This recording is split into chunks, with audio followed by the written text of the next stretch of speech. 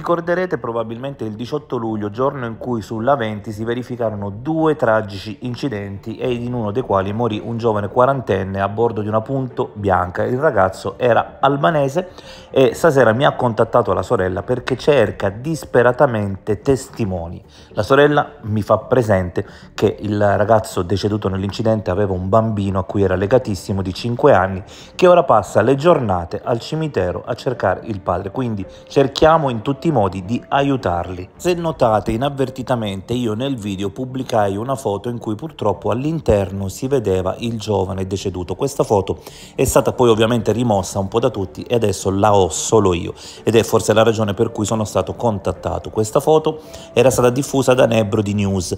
Allora una delle domande che pone la sorella appunto è rivolta a Nebro di News se per caso sta a dare qualche informazione diretta perché appunto chi ha scattato la foto era lì ed essendo lì potrebbe essere quindi un testimone in grado di aiutare la famiglia a ricostruire cosa è accaduto a questo poverissimo ragazzo. Salve, visto che voi avete un canale YouTube e lì avete pubblicato pure una notizia uh, perché, per un incidente che è accaduto uh, a Messina tre mesi fa. Uh, per un ragazzo che era morto con Fiat Punto sotto un tir. Volevo sapere soltanto quelle foto in diretta dove le avete trovate, perché noi stiamo cercando i testimoni se c'è qualcuno uh, che ha visto questo incidente. Questo è tutto. Uh, perché lui è mio fratello e ha lasciato un bambino di 5 anni e ha una moglie siciliana, però io la sua, cioè il suo link era l'unico che ce l'ha la foto in diretta di mio fratello, sdraiato proprio lì sulla sediglia della macchina. Io lo ringrazio tanto se lei può collaborare. Scusami, non c'è, eravamo in Photoshop. Io prima non potevo scrivere, adesso proprio mi sto riprendendo. E questo è che è accaduto. In casa nostra è caduta una bomba.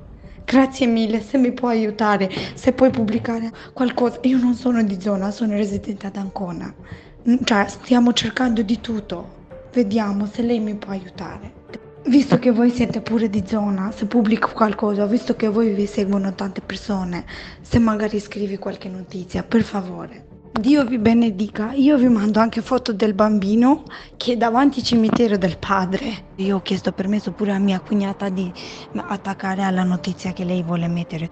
E praticamente eh, io gli dico questo. Mio fratello era un grande lavoratore, si era alzato la mattina, andava a lavorare a Palermo che così portava da mangiare alla famiglia. La sua famiglia si trovava al mare a, Messi- a Milazzo. E Purtroppo è accaduto questo, lui era molto collegato al suo figlio, molto.